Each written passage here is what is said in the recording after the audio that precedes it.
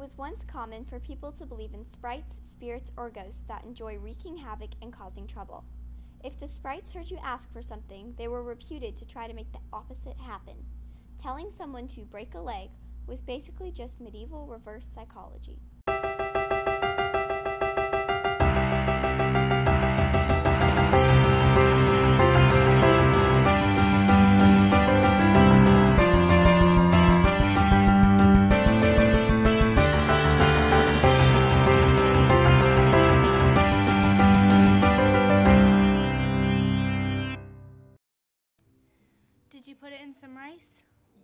It takes like two days to dry out. I know. I've dropped my phone in the toilet like twice. Okay, I- anyways, so I didn't have any way to tell Caitlin, and I didn't want her to think I just blew her off, so So what? when my mom went to sleep, I snuck into her room, took her phone, and downloaded Snapchat on it. That's crazy. No, what's crazy is that she found it on her phone the next day and thought it was a virus. What? She took it to the Apple store to get it removed. Adults are so clueless. Then the Apple store guy told her that it wasn't a virus and then how to use it. Oh, don't tell me. And now my mom Snapchats me.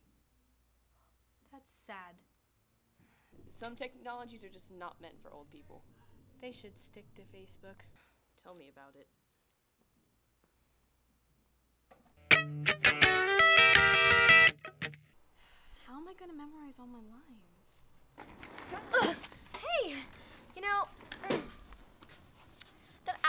Reminds me of something really funny. And here we go. So last year, when I was in Goldilocks, whenever I would say a line, people stared at me like I was crazy. I'm sure you're used to that. Well, later I realized that I was actually reading lines from The Big Bad Wolf, not Goldilocks. Really? Did anyone notice? Mm, I don't think so. They were probably just as confused as you were. Well, I told Mr. Don that with the audience should have paid more because it was like two shows in one. At least you weren't embarrassed. Uh, yeah, I was because I accidentally forgot one of my lines. Wait. Wait, you forgot a line from the wrong play? Yeah. That's why you always want to study your lines, because you never want to end up in the wrong play. So, how many scenes do you and I have together?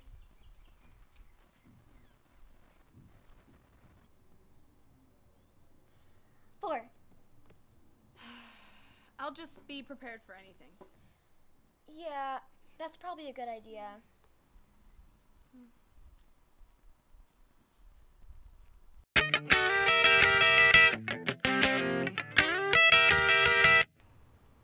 It's so nice to be outside. We've been rehearsing forever. Yeah. I'm really glad you're playing the witch.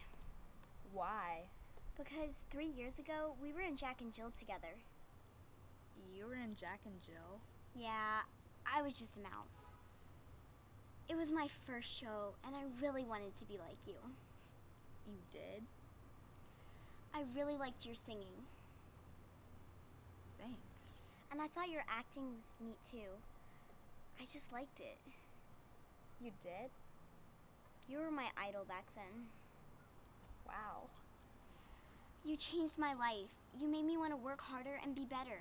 Cause like back then, I didn't have a lot of friends. And now I have all these friends here. And that's why I'm so glad to be on stage with you.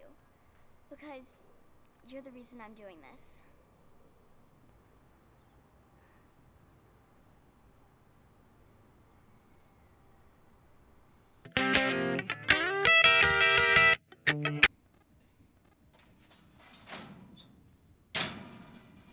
And we talked till like 2 in the morning. So that's why you were late to rehearsal? Would you just listen? I am listening, I just don't see what the problem is. Because I can't have a boyfriend. He wants to be your boyfriend? Well, no, not yet, but he will. He will? I mean, I can't help it. Every time I'm around him, I get all flirty and charming. He doesn't stand a chance. I know, so why can't you have a boyfriend? Well, you remember that talent scout from New York, right? Yeah, you went to that workshop he had Right, with the really bad food. right. Yeah. So what does he have to do with anything? Well, because he always says that if you want to take acting seriously, you can't have a boyfriend.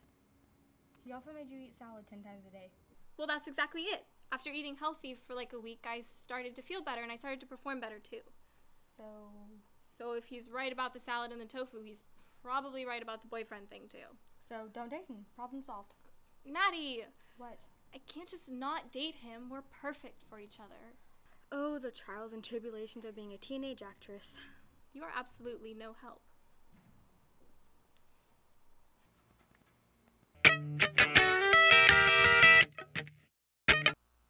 Look how big this stage is. I know, right? Did you see the lights? You mean the way they just change colors? It's so cool. I know, right? You should have seen the first theater. There was a first theater? Oh, yeah. It was bad. Like, real bad. Bad how? Well, there weren't any bathrooms backstage, so you had to wait till the audience sat down so that you could sneak around and use the one in the lobby. Oof. Yeah, and sometimes when you would sit in the audience, the seat would just fall apart right under you. And basically everything had tetanus, so if you scratched yourself on anything, you'd have to go straight to the hospital. In fact, we called it the Black Mold Theater. Because. There was black mold everywhere. Then why would anyone want to do a play there? I don't know. There's just something like home about it. Like when you walked in, you just knew that you belonged. Yeah, I felt the same way about our last theater. Yeah, th- that was never really home for me though. Well, what about this place? I don't know. It's kind of growing on me though. Yeah. Me too.